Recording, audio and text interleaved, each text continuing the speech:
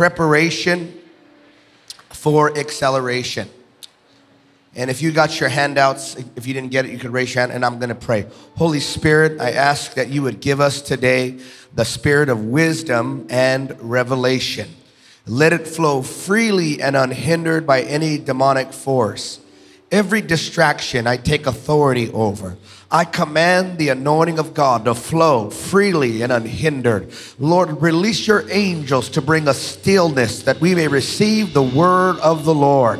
And let us leave this place saying, I encountered the presence of God. Lord, let nobody leave the way they came in. Do what only you can do, how you can do it. We ask you to release great grace in this atmosphere. They didn't come to hear the voice of a man, they've come to hear a word from heaven. So we receive now the words of God in Jesus' name. And all of God's people that believe, give them one more shout of praise.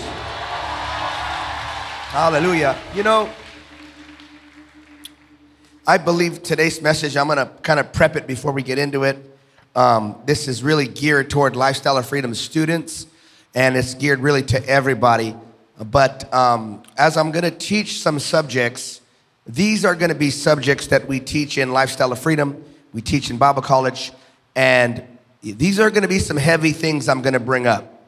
So, what I'm going to ask you not to do is fight me in the spirit. Because what happens sometimes is when God speaks, the Bible says the people of God always want to kill the prophets of God. Because every time the prophet of God comes, he speaks on another level. And when we find ourselves not living at that level and we don't see any way naturally we can get to that level, then we fight the words of God. And we end up fighting our future because your future is in the mouth of your prophet. And when God, re- come on, and when God gives you a prophet, and he, that's God talking to you and that's why the scripture is clear in Second Chronicles chapter 20 verse 20 that if you obey the prophet of God then you will begin to prosper because the prophet of God is not saying his own words he's the mouthpiece for God telling you what God is saying and even though your life may not look like what God said it can look like by faith you have to say it can happen even though I don't see how it can happen I don't feel like I can happen the devil's a liar. If you get a word from God, that word can come to pass. Somebody shout like we're going to receive the word of the Lord today.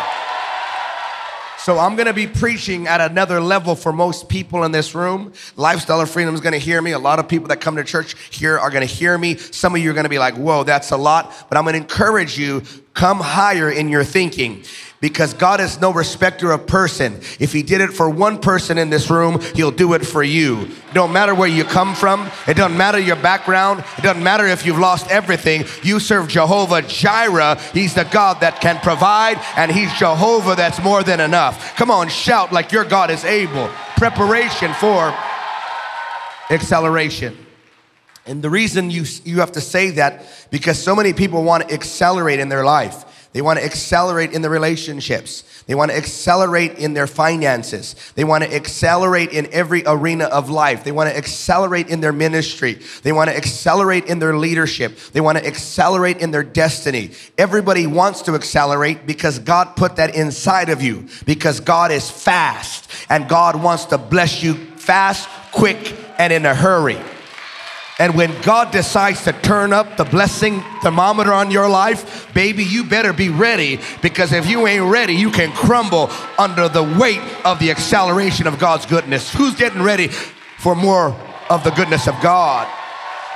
So I really believe this is a, a prophetic word for 2022, but I felt released to share it today. Somebody say, number one, write this down God molds us for future glory. And we, and we study that word glory. It comes from the Hebrew word kabod.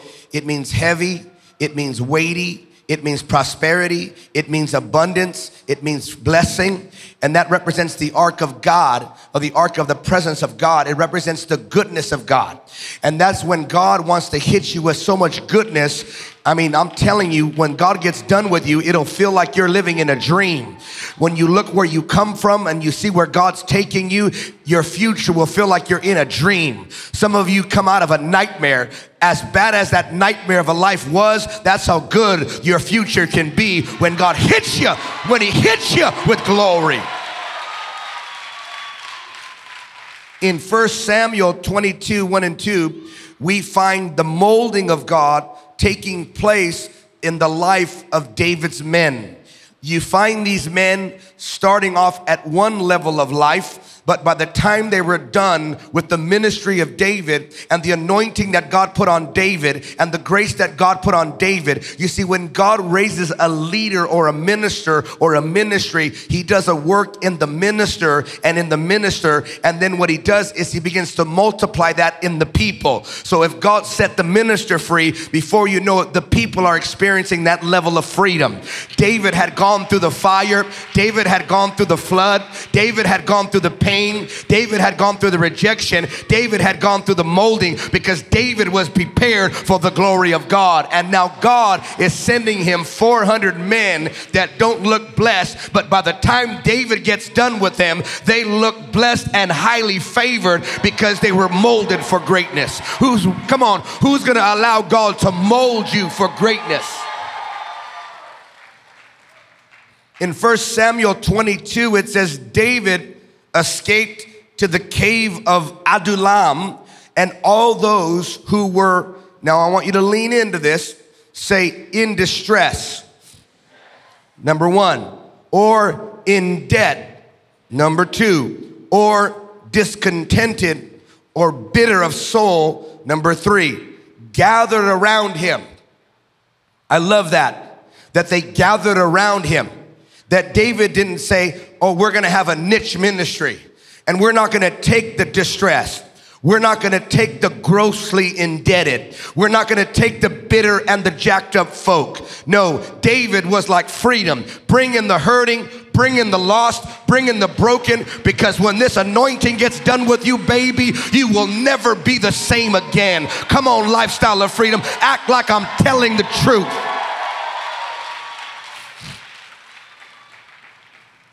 And they gathered around him, and he became their commander.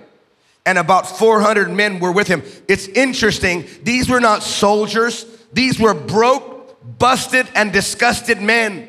These were men that had failed in relationship.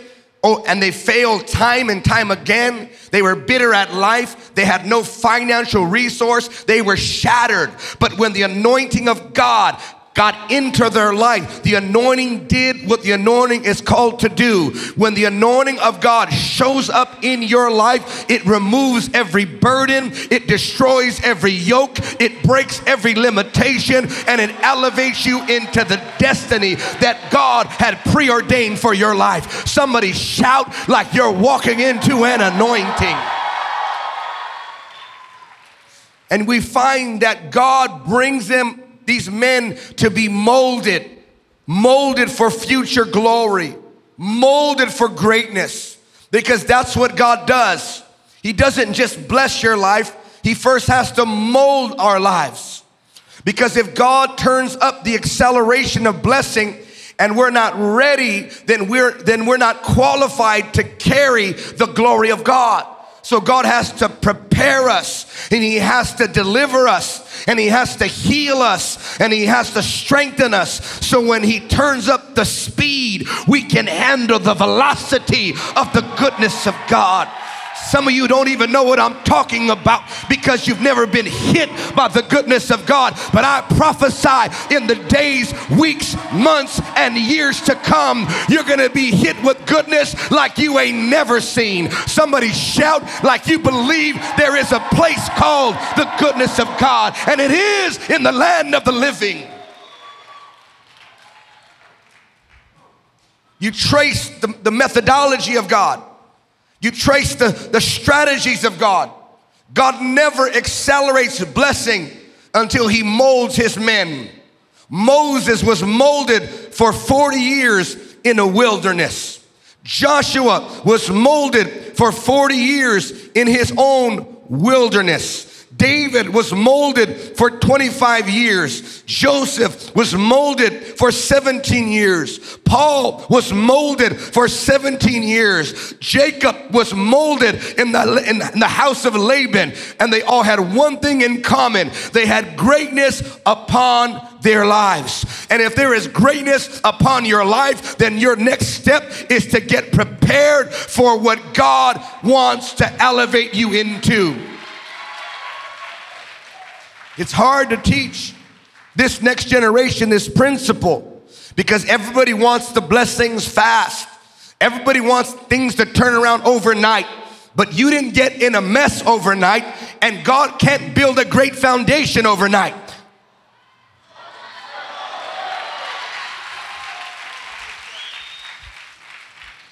So when God wants to build a big house, he's got to go down deep. You don't build skyscrapers with no foundation. And as high as God's to accelerate you, then we have to look at the foundation. Because if God puts too much weight on your foundation and your foundation's not ready, your foundation will crack underneath the pressure and the weight of that goodness. Somebody ought to say, Mold me, Jesus.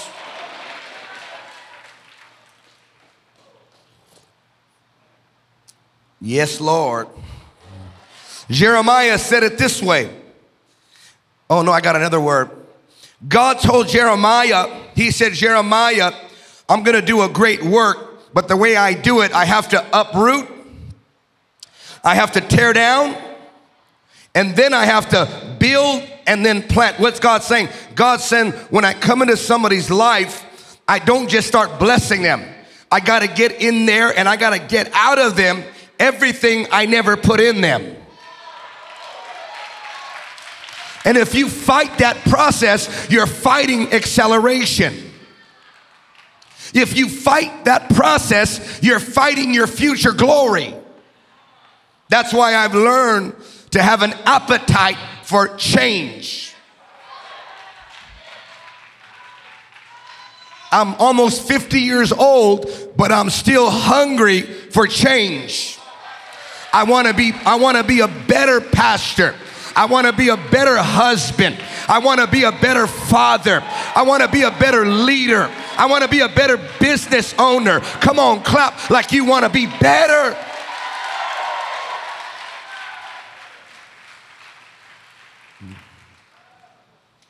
Hmm. Hmm.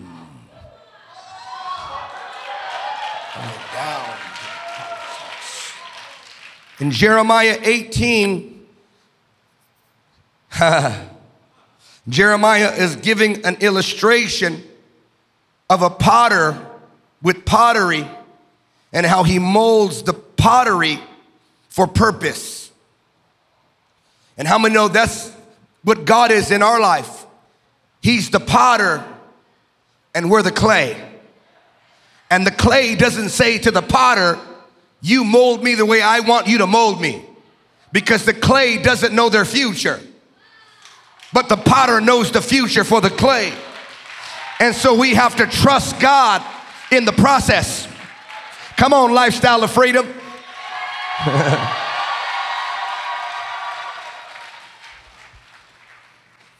Some people get on the potter's wheel and then they want to jump off when it gets everything starts spinning. Because when God starts delivering you of childhood trauma and He starts delivering you and I of things we went through and false personalities and alter egos, and He starts setting you free from things that have been in your life for 30 years, you feel like you're, you're in a whirlwind. But if you just stay on the potter's wheel, I don't know who I'm talking to, but some of you've just gone through a season like this, and then the wheel's gonna stop. He's gonna pull you out, and he's gonna use you in a mighty way. Shout like you understand what I'm saying.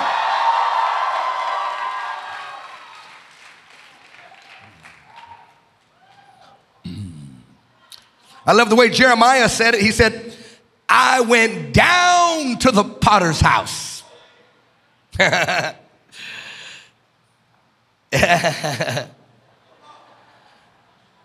you got to go down to the potter's house. You don't come up to the potter's house. When you're gonna go to the potter's house, you gotta come down. You can't be high minded. You can't be arrogant. You can't be prideful. You can't think you're God's gift to the church. When, uh, when, you, when you're gonna get molded for another level, you got to get down to the potter's house. You got to be willing to stay small in your own eyes. And I saw him working that wheel, and the pot was shaping from the clay, but the clay was marred, it was defected. So he had to form it into another pot, shaping it as it seemed best to him. And that's what happened to these men.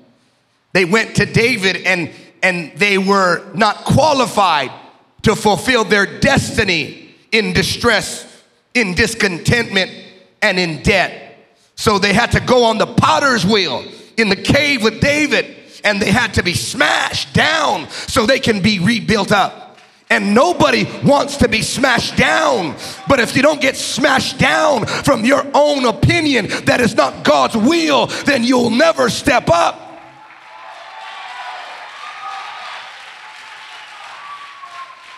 Come on, clap like you know what I'm talking about.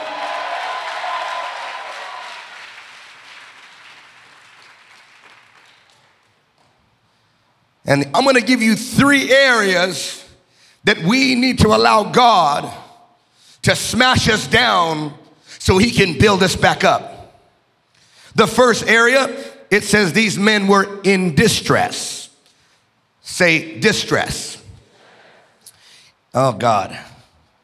It means they were in a narrow place. They were in confinement and they had disabilities.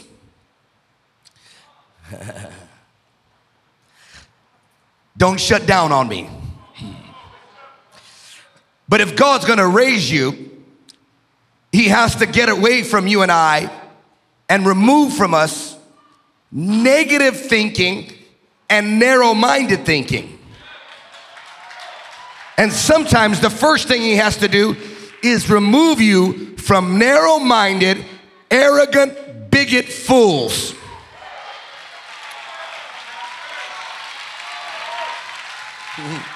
Three claps and an amen, but I'm gonna go somewhere. Just track with me, baby.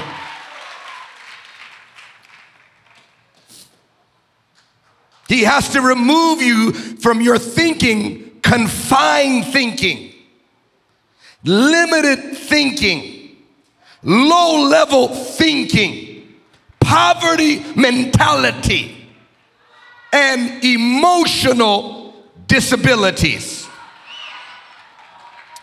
because God can't pour new wine into old wine skins, or He can't put new blessing, accelerated blessing into old mentalities, lest He do it and it breaks. Because old wineskins, they're not moldable, they're not shapeable. And the older they get, the more hardened they become. And this is why sometimes, if you're not careful, the older you get, you become more stuck in your ways. Where when God wants to do something new, He has to bypass you because you're too old in your thinking.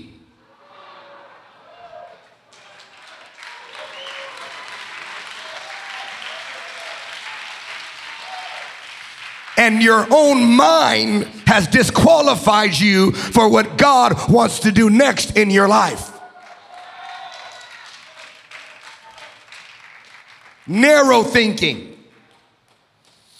You see, physically, in your brain, as you grow older, you begin to grow, grow grooves in your brain of thinking. And the older you get and you have certain belief systems, doesn't mean they're God's. The grooves get deeper.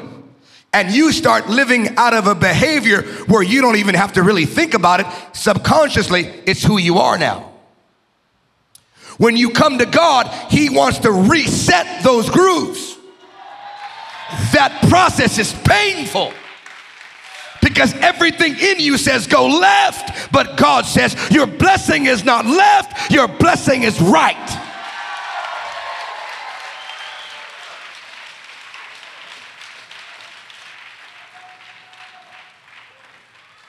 That's why they say it's hard to teach an old dog new tricks. It's true in the natural. People don't change.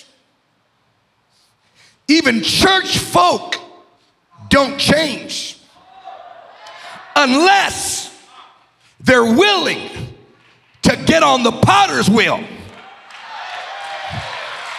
Come on, lifestyle of freedom, I'm talking to you. And they're willing to stay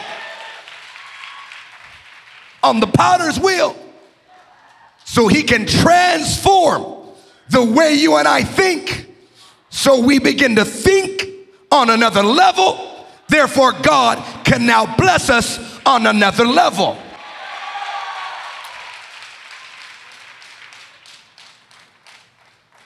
You see, church, we must allow God to break small minded, no faith, victim mentality.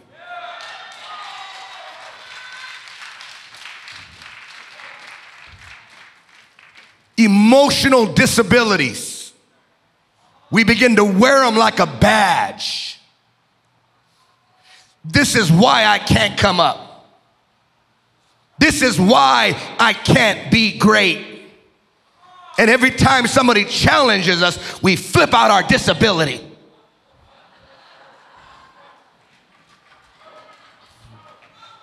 I was dropped. I was abused. Don't, don't talk to me like that. My daddy left me. Don't, don't make me.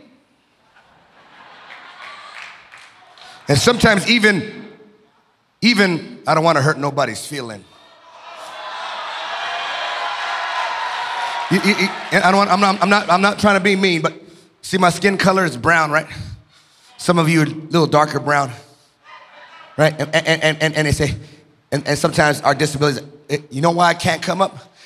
Because my color. It's my color. It's my color. Can I, can I, can I, can I break something off you?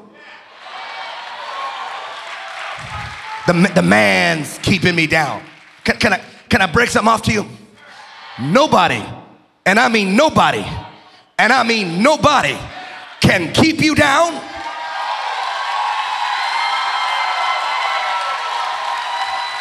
Because I read in my Bible that if God is for you, then tell me. Somebody ought to shout like I'm breaking that emotional.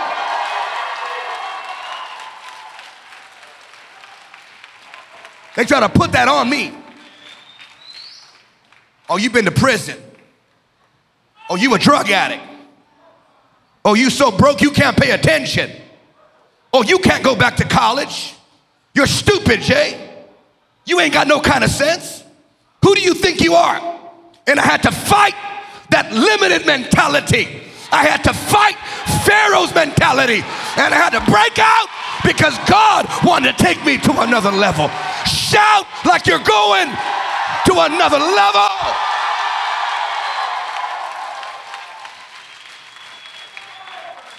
Yeah, I've been victimized over and over and over again. Yeah, I've been broken. Yeah, I've been shattered. Yeah, I've been left.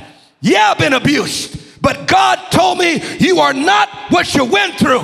You are what I say you are. And I say, You're a child of El Shaddai. You're a child of the Most High God. And I surrounded myself with low level, limited people because you attract who you are. And when I got into the church, those same folk are in the church. And God said, Stop hanging around with them and go hang out with them. And I said, But Lord, I feel weird with them.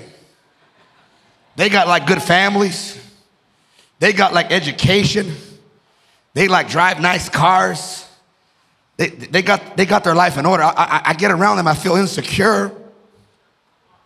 I hear a voice saying, You're stupid, you don't belong here. But you gotta fight through those voices, baby. And you gotta say, I belong at this table because my daddy put me at this table. Come on, Mephibosheth. My daddy put me, yes, underneath this table. I got broken legs, but my daddy put me at this table, and I ain't let no devil move me out of my table.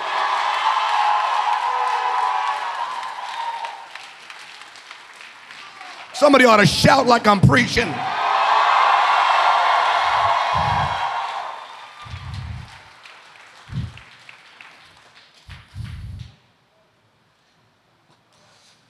I had to be willing to not allow my disability, and I have real disabilities. When I got saved, I couldn't read and I couldn't write and I couldn't talk. Those were real disabilities in my physical body. But I didn't allow my inability to read, and I didn't allow my inability to talk, I didn't allow that to stop me. Because when you get a word from God and you get around people who believe in you, you listen to God and you listen to them. You listen to God and you listen to them and get rid of every hateful, come on, somebody, every, every low level thinking person who says you can't and you failed and you ain't gonna make it, the devil is a filthy liar.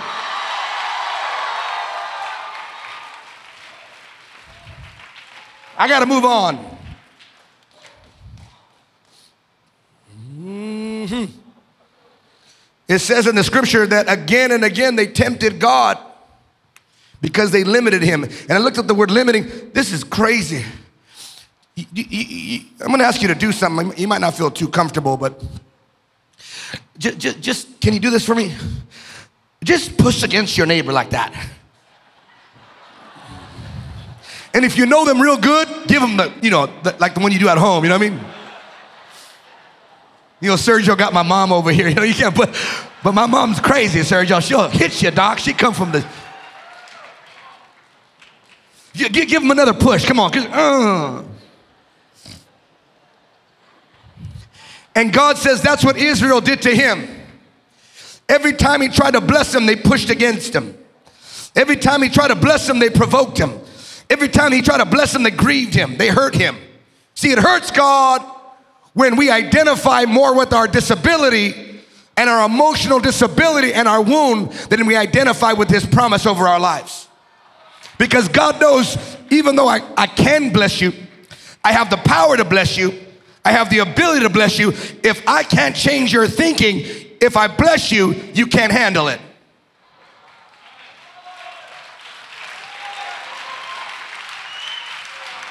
Can I say a big word? Can I give you a big word?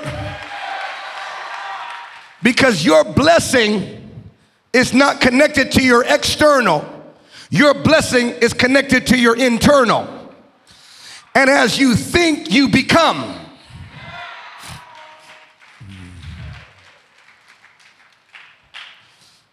You go into certain environments, and when you begin to feel like you want to be in that environment, you know God wants you in that environment. And then when you get in that environment, everything in you says, Get out of here because you don't belong here. Well, you have to learn how to stay there afraid. You have to be willing to stay there and you don't feel like you belong there but you got to stay there. And the time's going to come where you're going to step in that environment and you're going to realize that insecurity is gone because now it's who you are. Because the word changed you from the inside out. I gotta move on. Number two. Number two. Can we go deeper? I don't know if you're ready.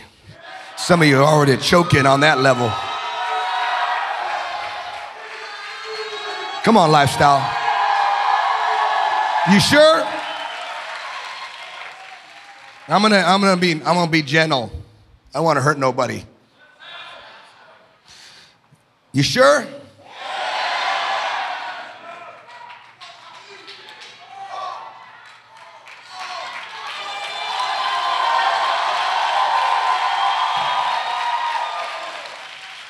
All right. All right, let's go. Number number 3. Write this down. All those Oh man, look at this word, oppressed with debt. You got to conquer the money. See, no, uh, see that? You see that? You felt that? There he goes, talking about money. That's part of your problem right there. If your preacher can't talk about money, you ain't going nowhere. Yes, sir. I said, yes, sir. If you're if you limit your preacher to preach only what you want, you're just like Israel killing the prophets. Always killing the prophets. Are you a prophet killer? Or are you a receiver of the word of God? Who's ready to come out of oppressive debt? Because the scripture says, let me give you some Bible. The rich rule the poor, but the borrower, look at this word, is a slave to the lender. You ain't a slave. Because the scripture said, who the son sets free is free indeed. So we're going to deal with one level of debt right now oppressive debt, slavery debt. The kind of debt you get into that when they gave you that credit card, they knew they owned you. And they sent you to work every Monday. So at the end of your paycheck, they want their 21, 28%. Oh, Pharaoh don't like me right now. See how quiet? I don't want to hurt you. I'm just going to be gentle here.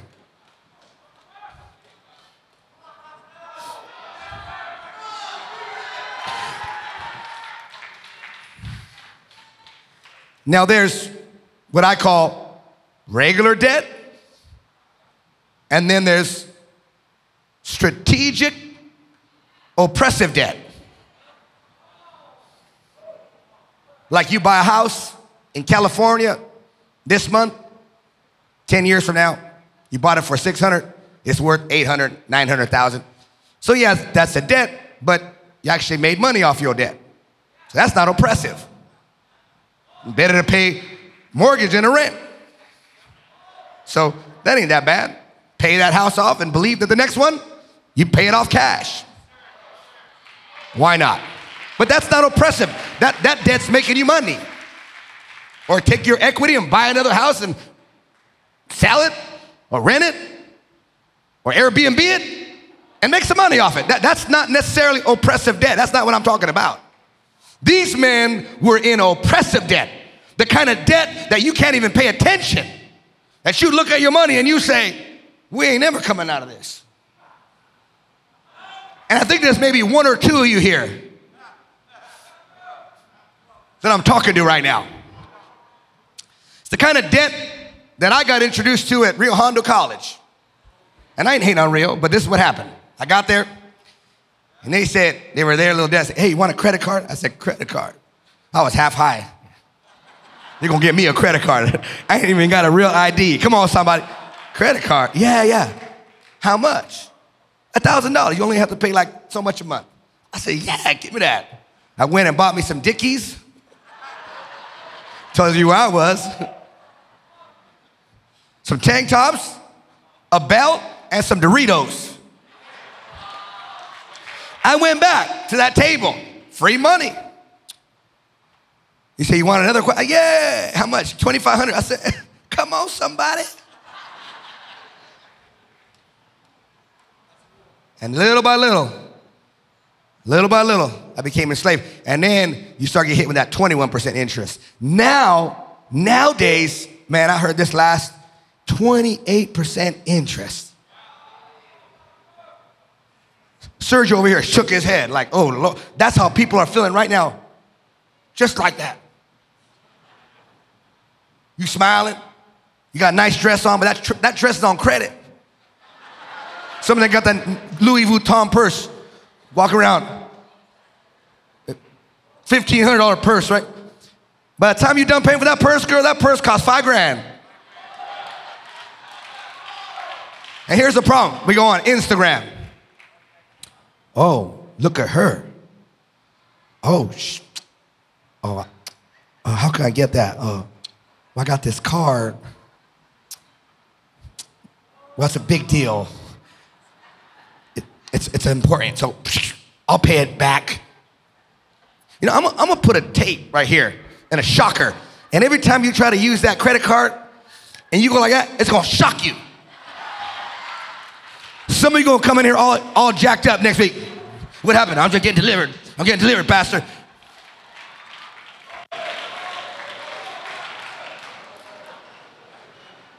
So, do you want to get out of that? No? Then I'll go to another, I'll preach tonight. Do you want to get out of that? Cycle, man. You got to get out of that. All right. It starts with this you are not what you wear, you are not what you drive, and you are not where you live. You are God's son, and that's enough.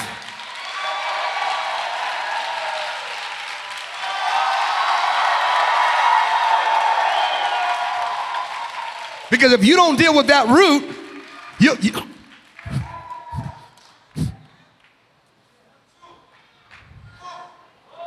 You good? I remember when I was coming up financially, I'd buy a car and I drove that thing until it blew up. I've blown up at least three cars, three trans. One car, I, I, I, I, drove it so hard, the engine fell out. And I had it told the mechanic, and the mechanic's like, it's, it's incurable. I said, You little faith, you have little faith. because CarMax jacked me up. They're like, We'll give you a car. Oh, a nice car. They, they little, that 28% interest. I didn't even look at that. I could afford that payment. Man, I ended up paying triple for that car. I learned my lesson. So I just drive until I break them. I had, I had, a, I had a Lincoln LS, and that thing broke every year. But it, I take it back, three transmissions on that, and, I, and the convention, the engine fell, and the mechanic. But and I, but man, I made it look nice. But I learned to take care of what I have. Like the other day, I went up. I have, I have a pair of Gucci's. They bought me 12 years ago. These these Gucci's. I was about to give them away to somebody, but then I looked at them and I said, "Not yet, Lord. Come on, somebody." they still look new. But they're in the bar. I take care of them because I learned that.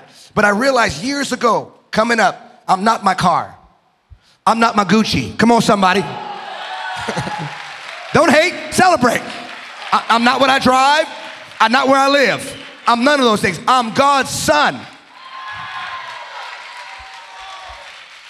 And if you don't get a hold of that, you'll try to compete with somebody over here. You'll try to compete with them. You'll try to go over here, especially if you're single and you're trying to get married, you'll start faking it. You'll, and we got to get rid of this false prosperity. Buying shoes on credit, buying cars on credit. Now, no, let me say it this way. You could buy a car on credit but if you have a car and it's still working and you're just getting another car because you want to compete with somebody, the devil's a liar. You drive your car until that thing breaks and then you go get a car you can afford. See, nobody want to hear me. But see, that's not how we were raised. Am I hurting you yet? You good? Yes or no? How many are ready to come out of oppressive debt? Next thing you need to do, you need to learn your covenant rights. You have a right to be out of debt, oppressive debt. And I believe we can get to a level where we can come out of debt completely. That's a high level of faith. It's able, it's a promise. We can get there. It takes time, takes generations, but I believe we can get there. How many believe we can get there? But that, I'm not talking about right now. I'm talking about oppressive debt because it's the oppressive debt that holds back your destiny. Because you can't focus on the kingdom when you, you, can't even pay that 28% off. You're a slave and you got to get free. And the son came to set you free, but you got to be willing to change. Quiet. It's okay. I'm gonna keep going because I'm already too deep in. Who's still believing? I, I, I, I lost the pool. Look at that. The pool's gone. Look at that. The pool. You still pulling? You still pulling? All right. Can I go deeper? You got to learn your covenant rights. You literally have a right to be the lender and not the borrower, to be above only and never again beneath. You have a right to the blessing of Abraham. The same blessing God gave to Abraham, you have a right to. You have to learn the laws of giving and receiving, God's system. If you don't tithe, you ain't ever coming out of bondage.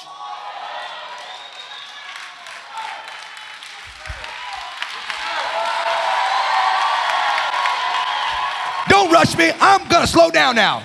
You're trying to put a rush on me. No, man, we ain't performing. You gotta get this. Listen. People come to me and my wife he, for years. We've been doing this 20 years now. I've been, I've been preaching almost 30 years. I'm gonna be 50 years old. And we come, they come struggling, like struggling, like, man, can't pay our mortgage, can't pay this. And my wife sit with them hours, do all their bills, and, and they, they couldn't tithe. And we looked at it, wait a minute. You're wasting so much money, you could be tithing three times. And, and then you could save this and you could do that, but because they had wrong thinking, they couldn't discipline themselves. And this is 10, 15 years ago, they're in worse financial status now than they were then. And if they would have just listened, they would have came out. They would have come out. They would have been way out. They would have been so far out, but they couldn't change their thinking because no one ever parented them right. No one ever sat them and taught them how to save money, and do, no one ever taught. So when Pastor Liz tried to do it, because they, they were undiscipleable. And if you're gonna come out of bondage, you gotta learn how to be accountable to somebody. You don't hear me.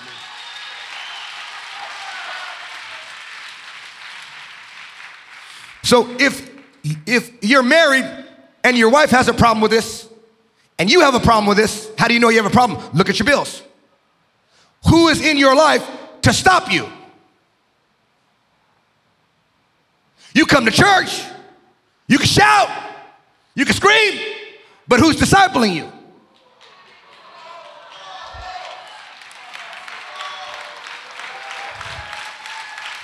And somebody like, man, don't tell me what to do. I'm already 53 years old. But look at your dad. I'm hurting you, honey. I'm hurting you. I'm, I'm so sorry. I, I don't apologize. Because somebody's going to talk to you like this at some point. So you got to start giving, and then you got to get accountable. And, if you, and then you got to get a strategy. You got to get a system. Then you got to get wisdom. And you got to work that wisdom. You got to work it on Monday, Tuesday, Wednesday, like a robot, Thursday, Friday, week after week, month after month, year, like a robot, like a robot. You look back and then the blessing hits you, the miracle hits you, the favor hits you, and you're way out of debt. You're so far from debt, you can't even see it. And now you're ready to be a blessing. All right. You want some more? What do you think, babe? Some more, more or no more? I love my wife. You wife? Look at your wife. She's here. Tell I love you.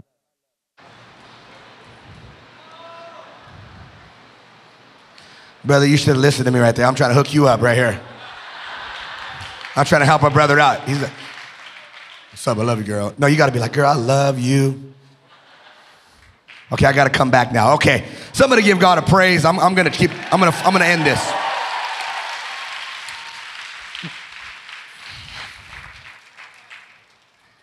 Can I give you a little bit more or no? No? I got a mixed reaction here, you know what I mean? I'm gonna just go for it. I'm just gonna go for it. All right. How many wanna come out of debt and prosper? All right, let's look, let's look at here. Say, now his creditor is coming to take my two boys as his slaves. Elijah replied to her, How can I help you? Tell me what do you have in your house? And your servant has nothing there at all, she said, except a small jar of oil. And Elijah said, Go around and ask all your neighbors for empty jars. Don't ask for just a few. Then go inside and shut the door behind you and your sons, and pour oil into the jars as each is filled. Put it on one side. So she left him and shut the door behind her and her sons, and they brought the jars to her, and she kept pouring. And when all the jars were full, she said to her son, Bring me another jar. But he replied, There's no more jars left, mom. Then the oil stopped flowing. Then the oil stopped flowing. The prosperity stopped when, the, when, the, when there was no more room for it. She went and told the man of God, and he said, Go sell the oil and pay your debt, and then you and your sons will live on what's left. There's two keys here I want to show you. The first key is narrow minded thinking will never allow you to see your potential. Now I'm gonna preach higher, but that's okay, because some of you are here just, Pastor, I'm just trying to stop smoking weed. I know, I'm gonna get you. But I got to talk to everybody. Come on, somebody. I, I, I got you. Don't worry, I'll land with you. But I got to talk to everybody here. The first thing you have to recognize, because limited thinking won't let you see it. Because if Pharaoh did his job right in your life, he beat you up so much, and you went through so much oppressive debt and, and, all, and this kind of circumstances where you don't see your gifting or your talent. And this would happen to this woman.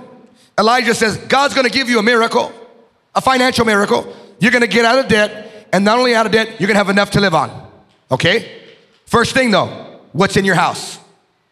That represents your talent and your gift. Hmm. Some of you have one talent. Bible says that. Some of you have three. Some of you have five. But you got to find just start with one. Oh God. You're going to love this. This is why we, we started Freedom Christian Academy. Because our goal, like my children, I'm looking at them now, and I've been looking at them for years, and I even named them. Before they were born, I named them based on their gift.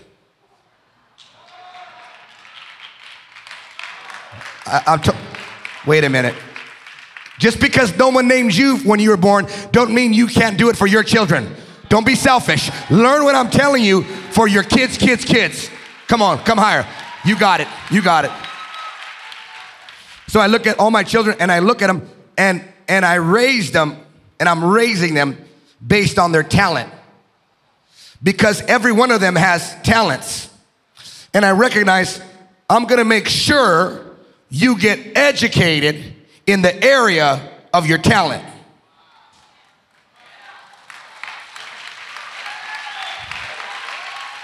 Why, why are you going to educate an artist in accounting if he can't count for nothing?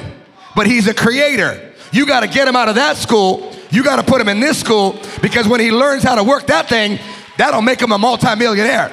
I'm in the wrong place. Come on, say, come higher, come higher, come higher.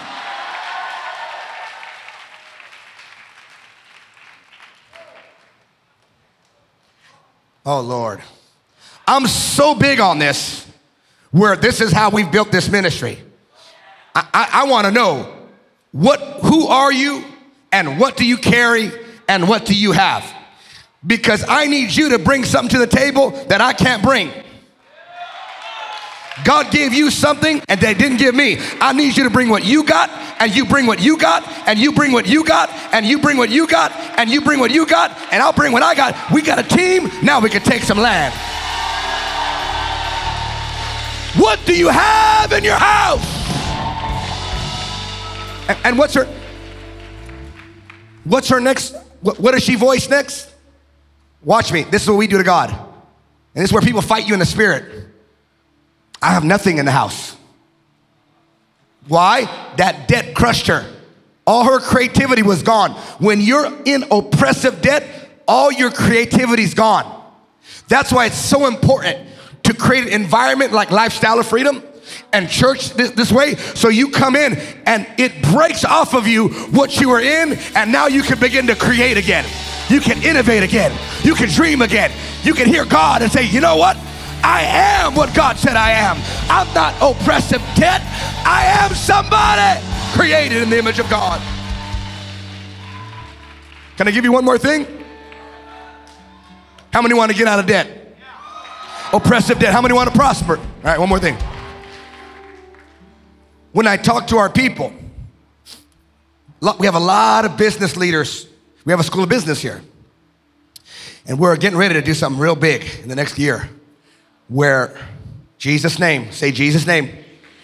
It's already set up. We just gotta, we gotta, we're gonna set it up for our training centers and those that want it, where you could graduate with a BA in business or a nonprofit if you do it right with minimal to no debt.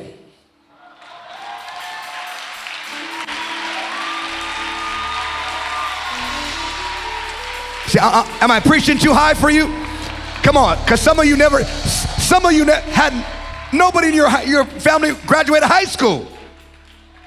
We're talking about AA, BA, and master's debt free. Never heard of it. Stop thinking small. God is able. God is able. God is able. God is able. We want our people to come up.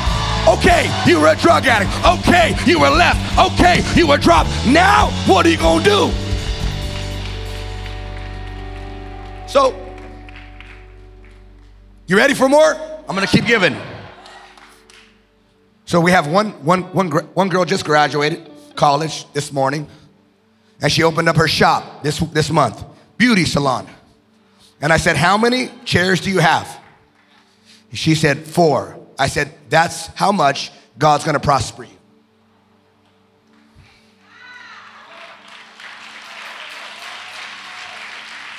I said, Do you want God to give you more? Because God has no problem giving you more. But you're gonna have to find a way to God give you a strategy when are you gonna get four more chairs? Because you get four more chairs, the oil will keep, come on, the oil, the oil will keep flowing. Who's ready to multiply?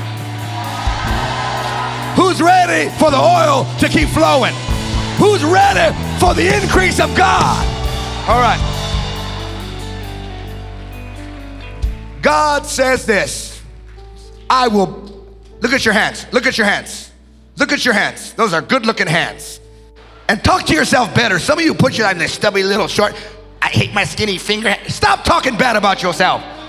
Come on, somebody. Stop looking. I, hate my nose. And I, stop that. You're beautiful. You're amazing. You're made in the image of God. Stop all that crazy talk. Look at your hands. Say, look at my hands.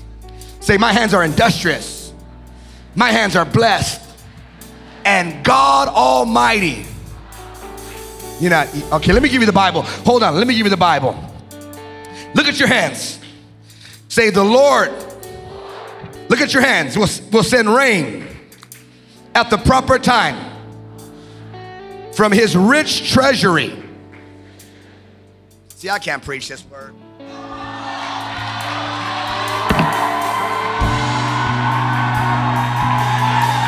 You ain't ready for this level, man.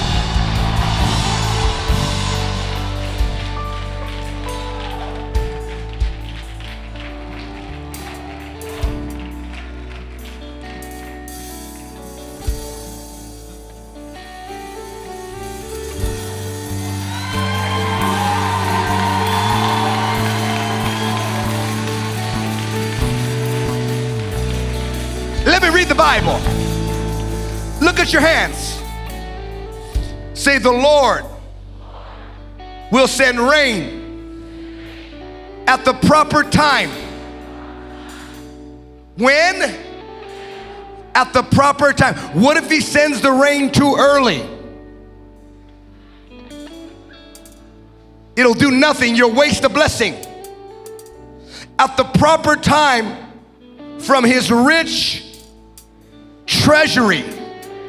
What does God's treasury look like?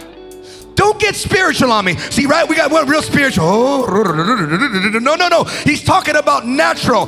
It going from heaven to earth. That's what God wants to release. Mm.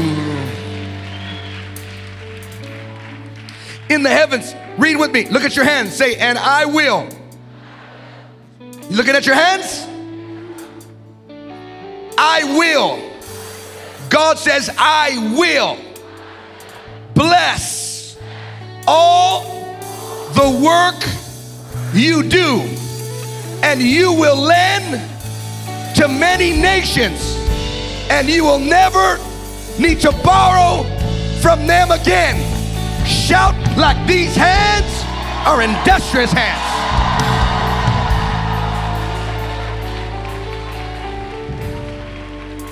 I need somebody that's ready to come out of debt, ready to come out of poverty, ready. Somebody jump up and shout like you're ready.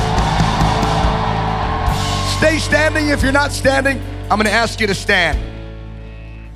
Give yourself a big hand. You did well.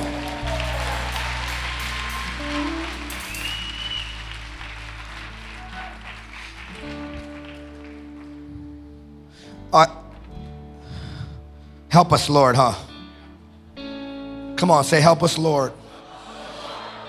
Part of the name of this church is Freedom City Church, right? So, freedom means a life without limit. So, part of my assignment from God for you is to get you out of the bondage you've come through. But then it's to take you from Pharaoh's house into the promised land. From making bricks to owning bricks. Come on, clap like you're an owner. I release, lift your hands, I'm about to release something. I release the spirit of ownership. I release the ownership anointing. I release that now. Shout like you believe God.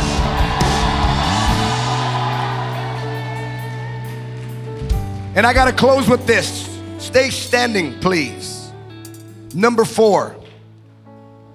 Not only those that were in distress, narrow, confined, emotionally disabled, not only those in poverty and oppressive debt, but the last group says they were discontented. And I looked up the word in the Hebrew, and it means they had troubled minds, and they had bitter souls, and they were bitter about life. They were the abused. And why did God send them to David? Because David faced the spirit of rejection. His father rejected him. His brothers rejected him. Even the prophet of God didn't believe in him. His leader tried to kill him. But David decided, I'm not going to get bitter. I'm going to get better. I feel it. He's a chain breaker. Can I testify a little bit?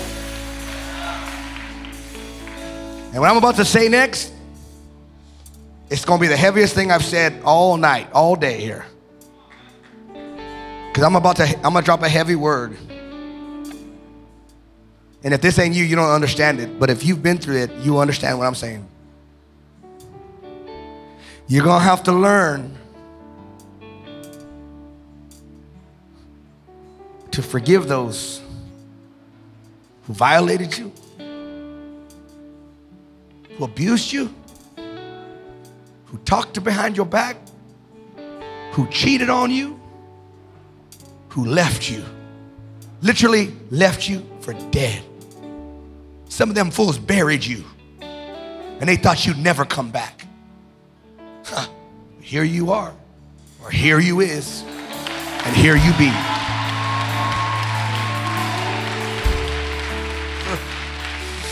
Ah, Lord, have mercy on our soul.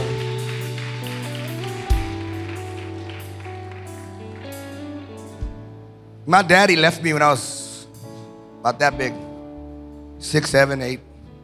Broke me, man. I love my daddy. I still love him.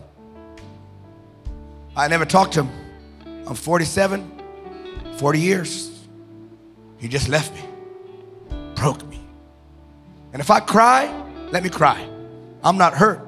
I'm just grateful that even though your father may leave you, Papa will take care of you. And then he'll bring you into a family that will take care of you. Ah, I feel something moving in the room right now, my friend. So I turned to my stepfather. He was, he was a bigot. And I'm not against white people, hear me. I, I mean, I, I, right here, I don't play. If you white, you black, you brown, you Asian, you yellow, like my kids all mixed, and I see racism here, I'll kill that thing. Ain't no one better than nobody here. I ain't playing. But so don't hear my heart. Come on, somebody. I, that's a narrow-minded, ain't going nowhere kind of thinking. Come on, shout like I'm talking. But he was a bigot. And he didn't like Mexicans. And I was a Mexican. So he'd always put Mexicans down all the time. And then he didn't like me. I think I reminded him of my father. So he'd always tell me, You're short. Like that's something wrong with being short. I'm short and proud now. God wanted me taller. He'd made me taller. Come on, somebody. I'm cool. He called me stupid. He called me ugly. He called me nasty names. And he wouldn't do it like once in a while. He would do it every day, all day. And he would abuse me every day, all my childhood. By the time I was 14, I was so bitter. I was a killer. I ran these streets like a maniac. And he would have looked at me and he said, This stupid kid, throw him away, lock him away. He's an idiot. He's a waste of life. But they didn't see my pain. Don't judge people. Don't judge them. Don't you see a homeless man? You see somebody, man, don't just throw them away and judge them. God can restore them if they let him. Ooh, I feel something in the room, baby. Come on, clap like God can restore. I said, God can and will restore.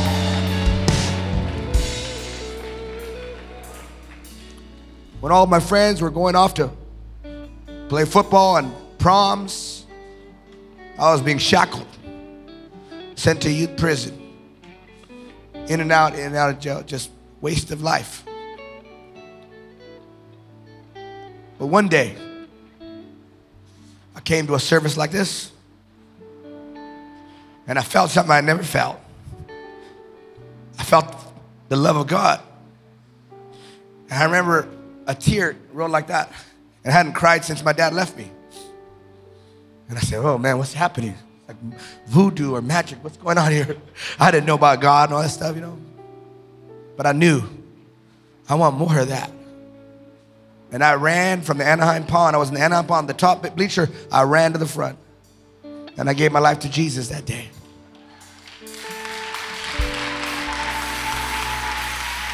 But you know what the problem was? I didn't, no one taught me how to not be bitter of soul anymore. So I was saved, but I was bitter. I was angry. I, st- I still get angry. I used to get real angry. One time I got so angry, the pastor's brother cussed at me and I punched him in the face. You're not supposed to do that. You're supposed to be a Christian, like turn the other cheek. I slugged him in the face. I said, and, I, and this is what I knew I was not the same because I actually felt bad about it. Before I'd hit you and dance, what's up, fool? This time I hit him, I cried, why am I like this? Come on, I was changing. I was changing. And my leader came up to me. He said, Jason, he said, he said, Jason, you can't, you can't be like that. I said, I know I don't know how to change. That's all I know. I'm bitter. I'm bitter of soul. I'm like David's men. And he says something to me that day. It felt like Mike Tyson hit me. You know, you get hit by Mike Tyson, that's another level. It felt like that, but like he hit me in the stomach. And when he said that, he said, Jason, you need to forgive your father.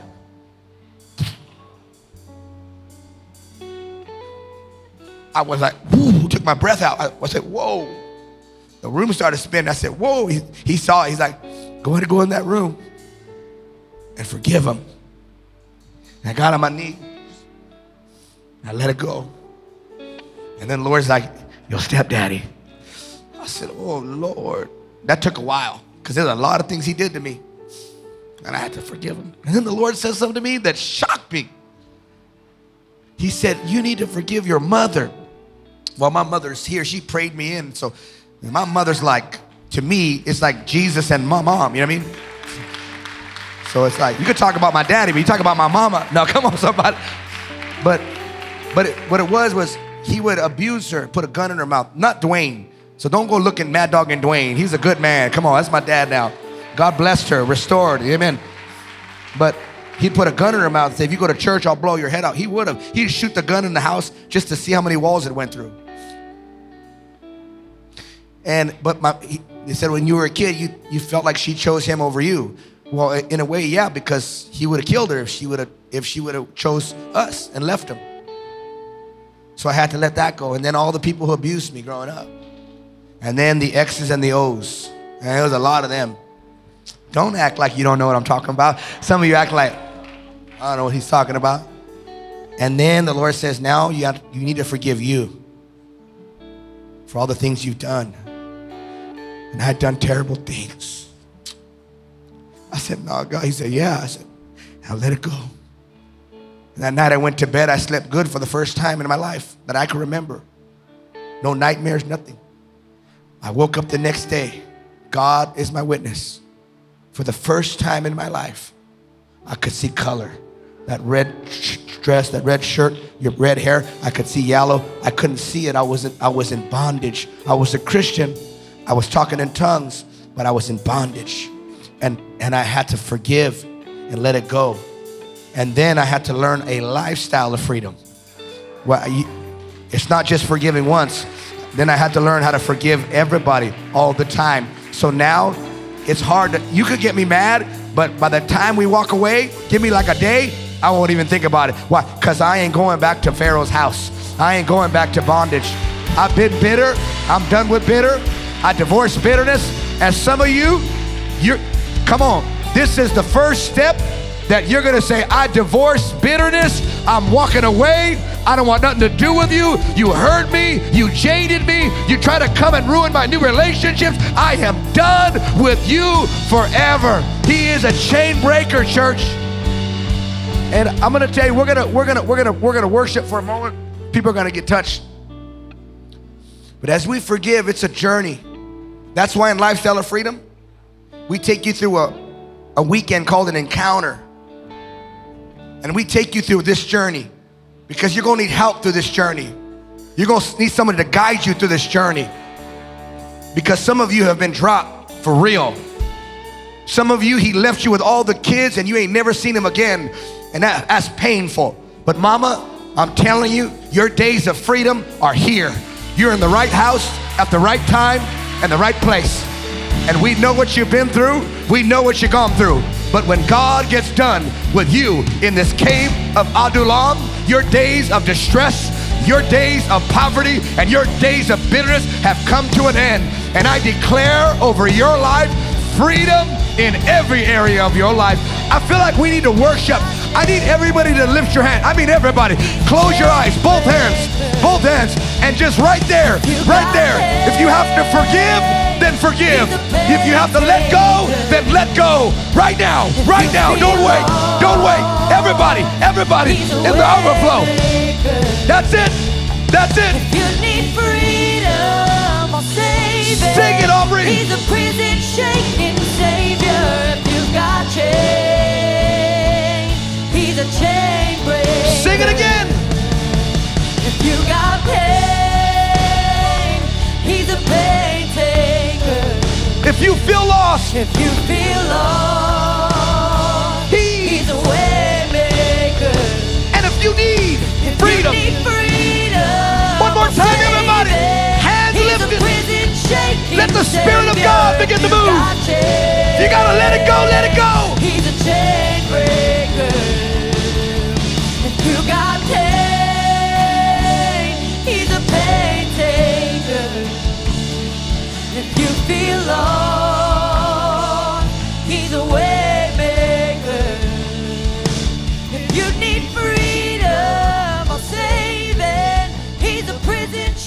Come on. savior. You ready? You ready?